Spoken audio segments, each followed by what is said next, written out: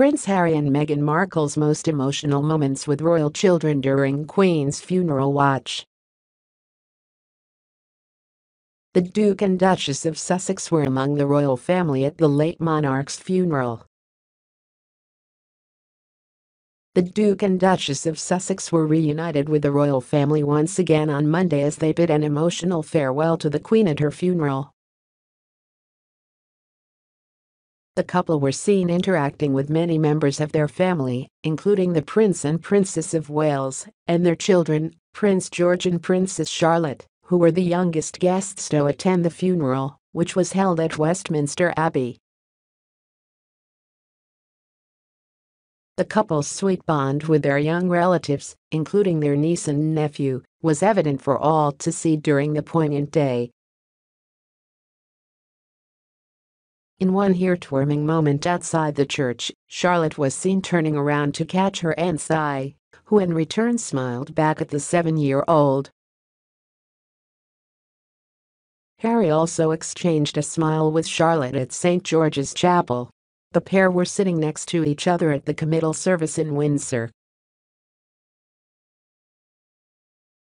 The Queen's state funeral was watched by over 4 billion people around the world.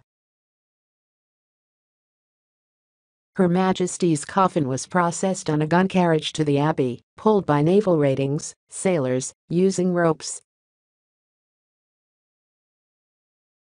The televised service, which included a national two-minute silence, saw King Charles and senior members of the royal family following behind the coffin before the service at Westminster Abbey. The Sussexes have been in London since the Queen passed away on September 8 and have attended several public events alongside their family during the 10-day mourning period. This included reuniting with William and Kate on 10 September two days after the Queen's death to view floral tributes at Windsor Castle. The pair released a touching tribute following the death of Her Majesty which read, In celebrating the life of my grandmother, Her Majesty the Queen, and in mourning her loss we are all reminded of the guiding compass she was to so many in her commitment to service and duty. She was globally admired and respected. Her unwavering grace and dignity remained true throughout her life and now her everlasting legacy.